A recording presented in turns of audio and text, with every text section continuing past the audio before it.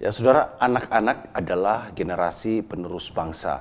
Itu uh, sudah selayaknya orang tua ini membangun karakter anak sejak dini.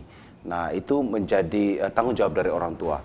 Anda masih bersama kami di Sapa Manado dalam segmen dialog ya, masih bersama Iya. saya Edo dan, Dan rekan saya, saya. Anastasia Lensun. Ya, Iya. sudah hadir di studio bersama kita hari ini Anastasia Ibu Hana Monare. Beliau ini adalah seorang psikolog. Apa kabar Ibu Hana? Luar biasa. Terima Luar kasih biasa. sudah datang di studio Sapa Manado pagi ini. Iya, kita akan membahas eh, topik mengenai membangun karakter anak zaman now. Karakter anak zaman now. Nah, ini kenapa demikian di, eh, dibil- dibilang eh, karakter anak zaman now? Karena sekarang ini sudah banyak sekali ya pengaruh-pengaruh eh, Zaman milenial. zaman milenial sehingga mudah sekali mengakses kebudayaan-kebudayaan dari luar eh, tanpa ada filter yang baik mereka akan terpapar dengan eh, itu.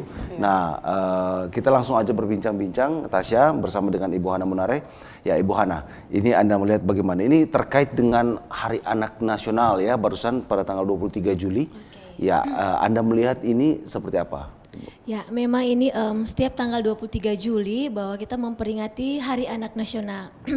Di mana setiap anak juga mempunyai hak yang sama. Selain mereka memiliki kewajiban sebagai anak tapi juga difasilitasi dalam Ya. rangka hak-hak mereka. Nah, tadi berhubungan dengan em, Hari Anak Nasional tahun ini dengan tema nasional yaitu jenius. Jenius ya. Apa itu jenius? Nah, jenius di sini adalah gesit, Mhm. empati, berani, unggul dan sehat. Wah, luar biasa ya. Gesit, empati, Berani, berani, unggul, unggul, dan, dan, sehat. sehat. Harus memenuhi karakter itu ya anak-anak tahun ini ya. Iya. Iya. Ibu Ana sebenarnya menurut Anda apa sih yang eh, membedakan karakter anak zaman now dengan karakter-karakter anak di era sebelum zaman milenial ini? Hmm. Oke ya, sebelum kita ba- em, bahas tentang karakter, sekarang kalau dulu-dulu nggak ada handphone yang Android ya. Betul, betul. Nah, Iya. ska- ah, kalau yang em, sekarang kondisinya adalah bahwa mau tidak mau sampai sudah di kampung-kampung aja sudah ada Android. Hmm. Betul. Dulu orang cuma main dengan kelereng. Main kalau orang Manado bilang ada juga bak bas sembunyi. Tapi Hmm. sekarang pertanyaannya, apakah anak-anak zaman now bermain itu? Tidak, Nah, semuanya sekarang lebih dekat udah dengan oke gadget. gadget semuanya. Betul Iya. sekali. Nah, yang pasti gini, em, bicara tentang karakter kita akan bicara lagi tentang pola asuh orang tua. Bagaimana pola asuh orang tua zaman now dulu? Hmm. Karena anak itu akan mengikuti apa yang dilakukan oleh orang tuanya. Betul sekali. orang tua sebagai role model dari anak.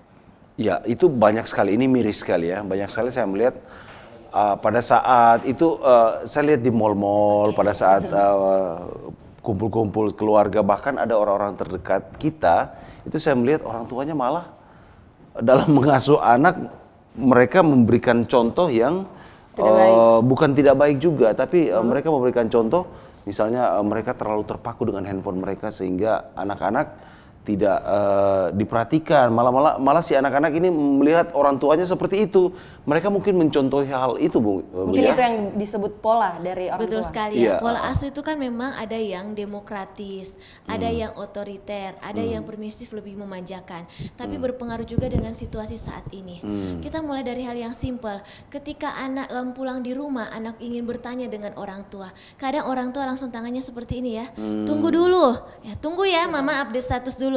Tunggu ya mama ini iya. ataupun papa dan mama lagi sibuk dengan pekerjaan. Hmm. Nah, di situ kan anak-anak yang sekarang istilahnya mental mereka Hmm. Oke, mental- wah sedangkan orang tua saya saja sudah tidak peduli dengan saya.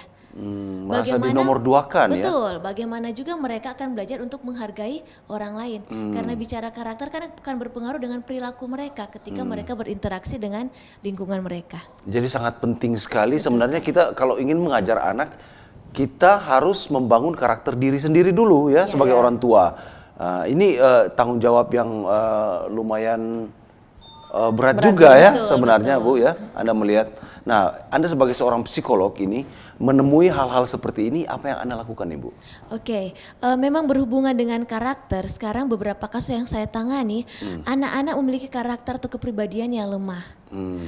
Nah, di sini dalam arti bahwa em, hal yang simpel loh. Hmm. Anak dikatakan gini, maaf ya, em, kamu gode. Hmm. Nah, kalau mungkin yang lain oke biasa aja. Tapi akhirnya dia memiliki pencitraan ke dirinya, wah saya berarti em, berbeda ya dengan teman-teman yang lain. Hmm, nggak boleh ya begitu. Nggak boleh ya sebenarnya. Betul. Karena Sebenarnya itu juga hal- termasuk pembunuhan karakter. Iya betul pembunuhan karakter dan di sini kan kan berhubungan dengan pola asuh. Di sini berarti orang tua yang lebih em, ada juga orang tua yang protek, oke, ataupun orang tua yang terlalu memanjakan itu pasti akan berdampak ke pembangunan karakter anak. Hmm. Nah anak ketika orang tua yang terlalu protek berarti dia tidak berani untuk bicara. Nah, kebalikan ketika orang tua yang terlalu memanjakan anak, dia akan lebih oke, Membangkang. membangkang. Nah, dia akan lebih menguasai. Ketika di lingkungan dia akan lebih menguasa, eh, mengatur teman-temannya. Betul. Dan berhubungan dengan yang hanya sugesti kata-kata itu memang berpengaruh luar biasa. Nah, di sini em, kalau saya lihat beberapa kasus yang saya tangani anak-anak dengan pola asuh yang orang tua lebihnya membebaskan anak. Nah, tapi akhirnya kan dia kurang perhatian di situ. Oke, secara fasilitas difasilitasi, tapi secara emosional itu ada enggak? Hmm. Betul. Dan beberapa kasus tuh anak itu kebanyakan diasuh oleh oma opanya. Dia Ah, kurang iya, kedekatan dengan orang tua kandungnya. Hmm. Betul. Dan akhirnya itu dengan pengaruh lingkungan hanya kata yang kamu gode, ya kan? Nah, itu akhirnya dia mulai mengalami anoreksia. Dan- Anoreksia? ya, Wah. anoreksia kan karena apa? Dia kan pingin menurunkan berat badannya. Hmm. Kayak dia nggak pede. Anak itu aktif, dia ada di sekolah yang bagus di Manado. Anak itu aktif ya dengan ikut paduan suara, dancer dan lain-lain. Tapi kepribadian itu nggak kuat, mentalnya nggak kuat. Dan akhirnya apa? Itu bisa berhubungan gangguan jiwa. Hmm. Kalau sudah tidak makan, nah itu kan tidak ada asupan gizi ya, oksigen kosong. Iya. Jadi sebenarnya pola apa sih yang menurut ibu yang menjadi pola yang tepat untuk membangun karakter anak zaman now? Oke ya, yang dalam sekarang gini, yang tadi saya bilang ada tiga. Lebih baik pola yang demokratis, pola asuh yang demokratis. Ketika Bisa, anak bisa diulang bagus, lagi eh, tiga pola yang tadi ya, bu ya? Pola asuh itu kan ada yang otoriter, Otoriter. Oke, orang tua yang memiliki kekuasaan lebih tinggi. Mhm. Nah, baru kemudian pola asuh yang permisif lebih memanjakan. Hmm. Anak kadang lebih menguasai orang tuanya. Oke, nggak Nah, boleh ya. yang ketiga ini juga pola asuh yang demokratis. Demokratis. demokratis di sini maksudnya adalah ada reward, ada punishmentnya. Hmm. Reward ketika anak bagus bukan berarti kita harus kasih handphone yang baru kan? Hmm. Nah, tapi kita kasih apa? Pujian. Orang dewasa aja kalau di bosnya kasih langsung bilang nih, wah Hebat kamu job ya." ya, hebat ya, oke. Nah, Senang itu kan sekali senang sekali. pasti ya. Apalagi dengan anak-anak sekarang. Hmm. Kayak emang mereka em, butuh fasilitas, tapi balik lagi dengan beberapa kasus saya tangani, mereka juga perlu apa? Kedekatan, attachment, kedekatan antara anak dengan orang tua. Orang tua peduli nggak memahami psikologis anak. Mungkin ditanya bagaimana dengan teman-temannya, itu kan akan berpengaruh juga di situ. Hmm. Nah, kalaupun memang dia memang melakukan suatu kesalahan, oke, ada baiknya juga orang tua memberikan um, punishment hukuman sebagai penguatan. Hmm. Nah, di situ untuk melatih dia untuk bertanggung jawab, melatih dia untuk kemandiriannya dia.